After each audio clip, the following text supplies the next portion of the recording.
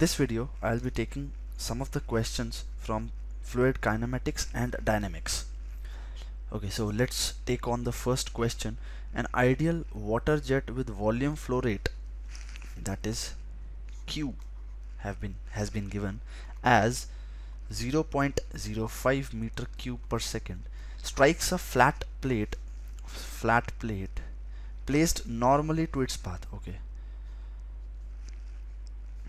so water is coming like this and it's going like this okay?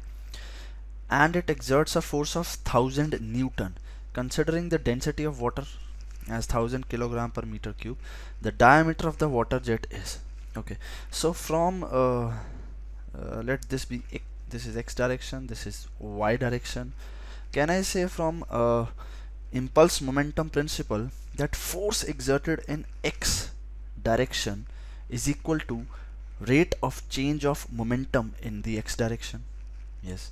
Okay. So force is equal to rate of change of momentum in the x direction. Okay. Let its velocity in the x direction be v1 okay. And the final velocity in the x direction will be 0 okay. Because there is no velocity in this direction. Final velocity. Okay. So that means m dot v1 that means rho a v1 by into v1 which is rho a v1 square. Also you learn this formula. So f is equal to rho a v1 square. F is given as 1000 newton rho a v1 square.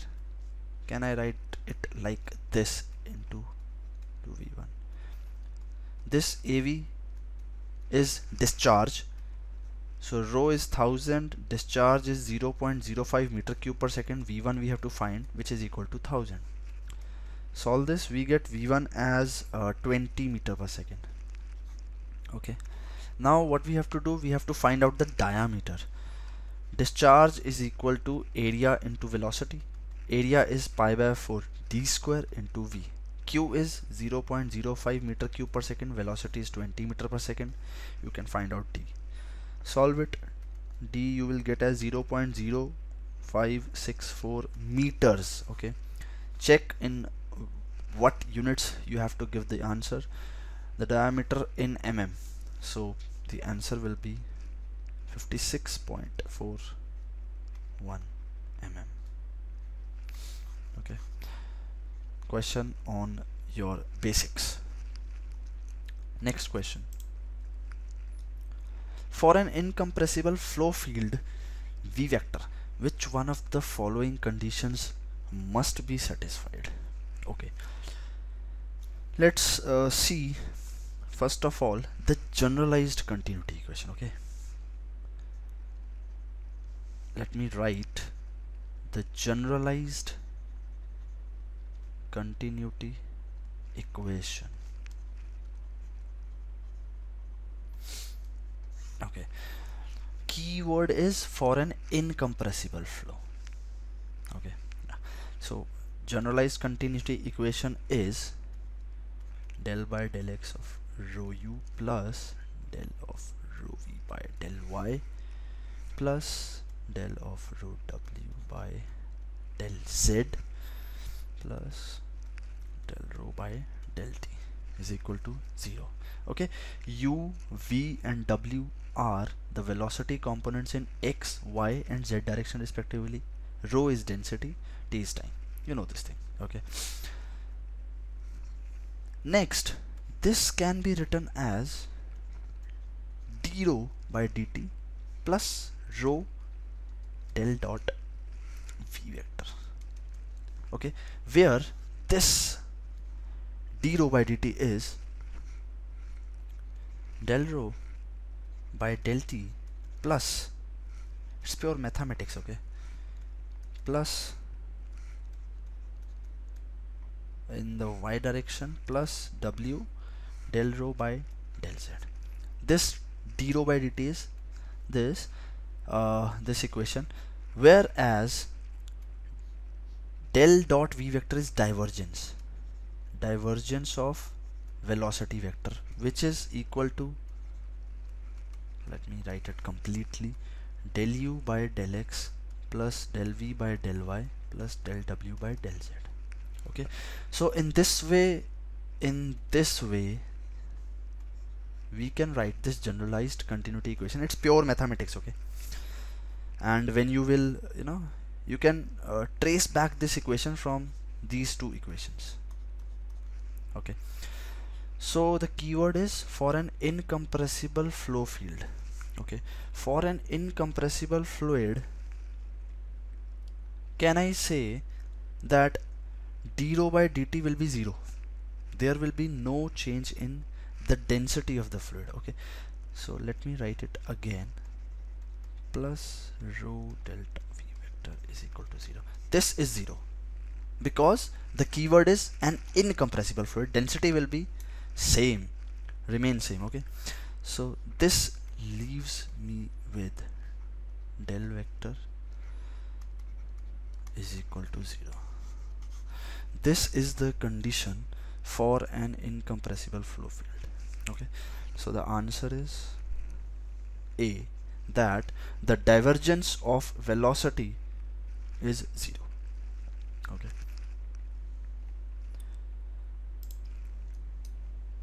A siphon is used to drain water from a large tank as shown in the figure below. Assume that the level of water is maintained constant. Uh, ignore frictional effect due to viscosity and losses at entry and exit. At the exit of siphon, the velocity of water is. Okay. Uh, datum has been given in the figure. Okay. You have to find the velocity of water. Let at at point r. So let here the velocity of water be vr okay? Let the velocity of water be vr this is uh, atmospheric pressure acting I mean at this point atmospheric pressure uh, sorry at this point atmospheric pressure is acting at p point. And at r point also the pressure acting is atmospheric. Okay? Apply the Bernoulli's equation between p and r.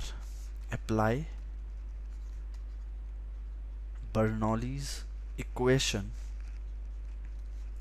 between P and R okay?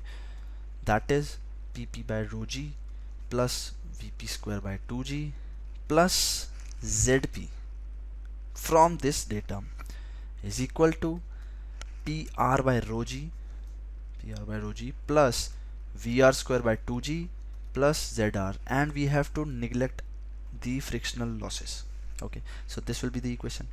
Now the pressure here is atmospheric here is atmospheric. This gets cancelled out. Okay vp what is vp square? Here the fluid is stagnant. So vp is equal to 0 great. So this is also 0 zp is the height of this level from the datum.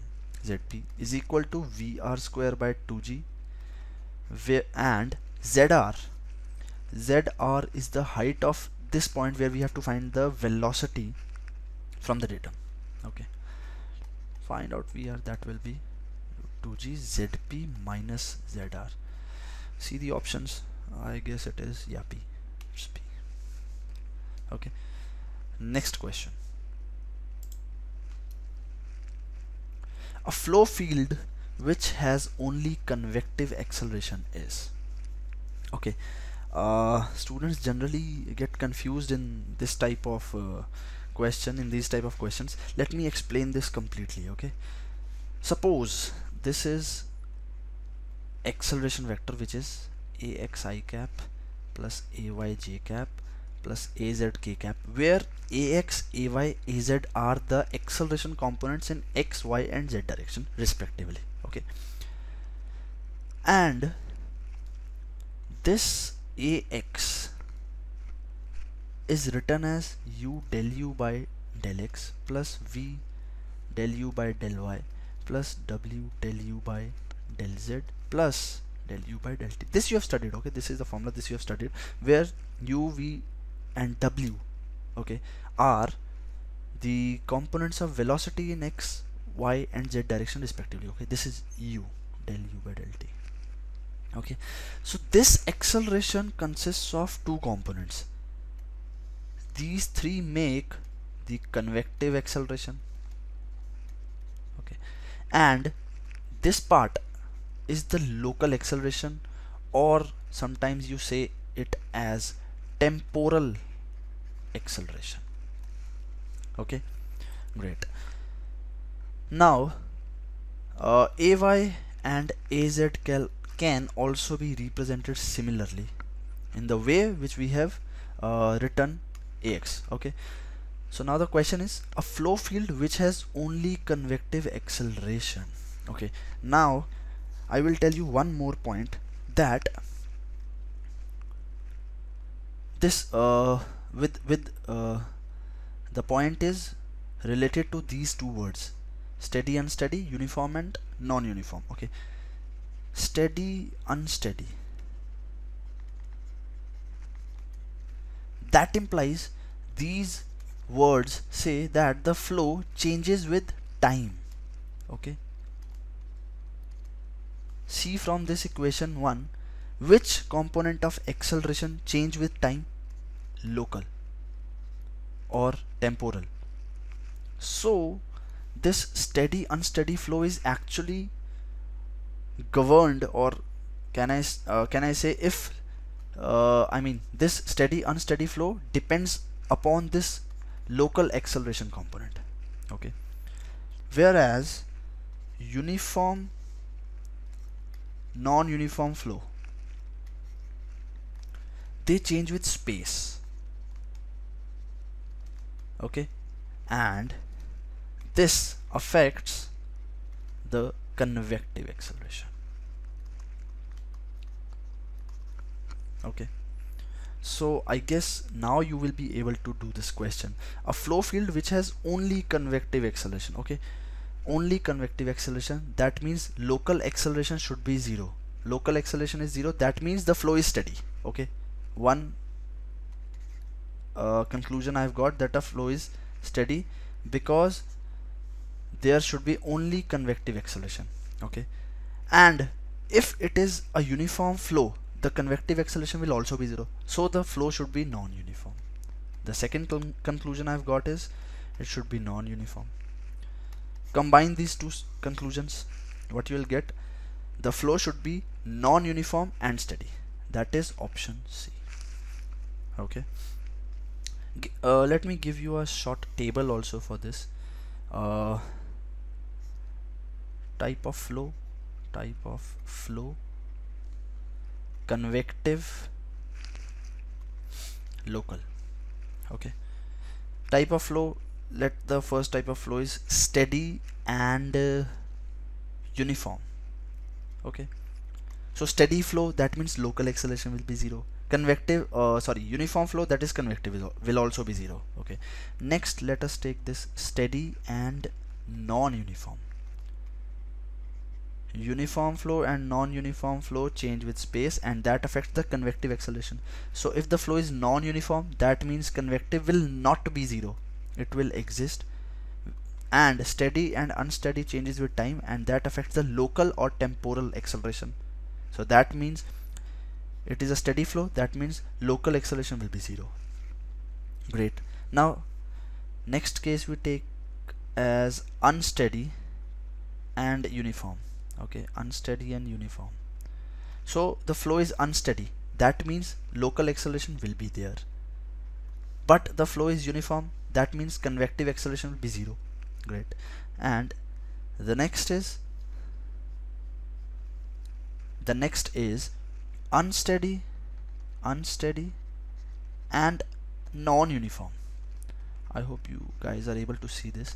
Unsteady and non-uniform okay? Unsteady means local acceleration will be there and the flow is also non-uniform. That means the convective acceleration will also be there. Okay. I hope this exhaustive description of this question will clear oh, I mean A is not the option. I'm trying to say that this exhaustive description of this question uh, I think will clear your doubts and uh, you will be able to solve all types of uh, questions related to this convective acceleration and local acceleration. Okay. Next question. Consider the following statements regarding streamlines. The first is it is a continuous line such that the tangent at any point on it shows the velocity vector at that point. Correct. It is correct. It is actually the definition of a streamline second is there is no flow across streamlines. Absolutely correct. Third yes this is the equation. This is the differential equation of a streamline okay? This is also correct where u v and w are velocities in directions x y and z respectively okay? This is the differential equation we use to find the equation of a streamline okay? Next in an unsteady flow the path of a particle is a streamline. What do you mean by the path of a particle path of a particle that means it is path line. Path of a particle is path line na? so in an unsteady flow is the path line same as streamline? No. In steady flow only the path line and streamline are same. Okay so 1 2 and 3 are correct. See the options? And take the answer. The next question. Okay so uh, this question is somewhat based on uh, generalized continuity equation which I have uh, explained earlier in this video. Let's again write the generalized continuity equation first okay? Then we will solve this question. You will get a better clarity. So what was the generalized continuity equation? Write down. Or uh, if you want to try the question yourself before seeing the solution it would be better so now if you have tried this question uh, generalized continuity equation let me write this generalized continuity equation.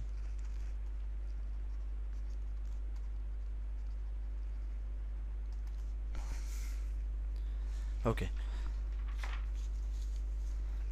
This is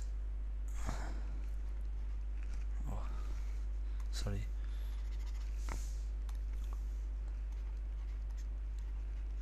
plus del by del x rho u plus del of rho v by del y plus del of rho w by del z is equal to 0 which can be written in the form d rho by dt plus rho divergence of velocity and it is equal to 0 this is the generalized continuity equation okay. Now start checking the options. Okay.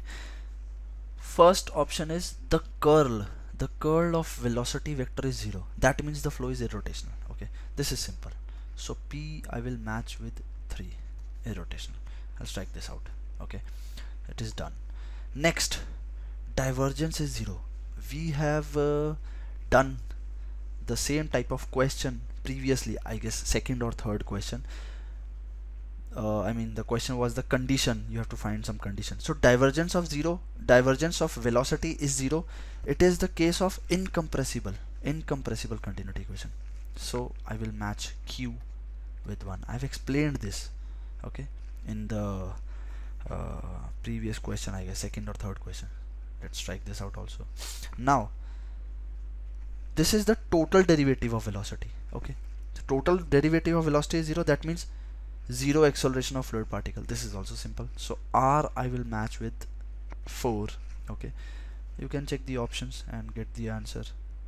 It is a C. S S actually this is written wrong. This is actually del V vector by del T is equal to 0 and which signifies steady flow. Okay? So the answer will be C next question. The velocity field of an incompressible flow keyword incompressible flow is given by oh this is some equation where a1 is 2 and c3 is minus 4 okay. The value of b2 is the velocity field of an incompressible flow. What is the condition of an incompressible flow? I have proved it in the previous uh, second or third question I guess. Same. Divergence of velocity vector is zero. Okay this is the condition. I've proved it right? Previously in this uh, video. So divergence of velocity vector is zero. Now what what you have to do is del by del x i cap plus del by del y j cap plus del by del z k cap dot this v vector this v vector okay? By seeing this question one I mean a student can get confused that there are a number of variables a1 a2 a3 b1 b2 b3 c1 c2 c3 how can you find the value of b2 from just one equation? So be assured that if the gate paper setters have given this question they must have uh, set this question by keeping in mind that the other variables will either get cancelled out or they will either get zero. So when you solve this when you solve this you will get one equation that is a1 plus b2 plus c3 rest will get 0 or rest will get cancelled out okay? You can solve this simple dot product okay? So a1 is 2 plus b2 we have to find out. C3 is minus 4 is equal to 0 that implies b2 is equal to 2 fill the answer. Okay. Next question. So three questions. You see three questions on this concept three four questions on this concept. That the velocity of an incompressible flow you have to use this condition. Okay. Uh, next question. If the fluid velocity for a potential flow is given by this Uh, equation with usual notations then the slope of the potential line at xy is okay. Before starting this question firstly we must know about velocity potential function okay. Velocity potential function is actually denoted by phi and is a scalar such that del phi by del x is equal to minus u and del phi by del y is equal to minus v. Okay. And u and v are the x and y components of velocity respectively. Okay. Uh, now we can write f sorry phi is is a function of x and y. Okay. Differentiate it. D phi is equal to del phi by del x into dx plus del phi by this is pure mathematics okay. Dy now along equipotential line potential function is constant. So can I say d phi is 0 yes I can say this. Therefore 0 is equal to del phi by del x dot dx plus del phi by del y dot dy. Okay now del this is del phi okay this is phi. So del phi by del x is minus u put here. Del phi by del y is minus v put here. Minus u dx minus v dy is 0 slope is given by dy by dx. Arrange rearrange this these terms. Okay you will get dy by dx is minus u by v. So the slope of potential line at xy is minus u by v. And you also remember this result as a direct formula. Okay so the answer will be b. I have just proved this you also remember this result as a direct formula. So the answer will be b b. Thank you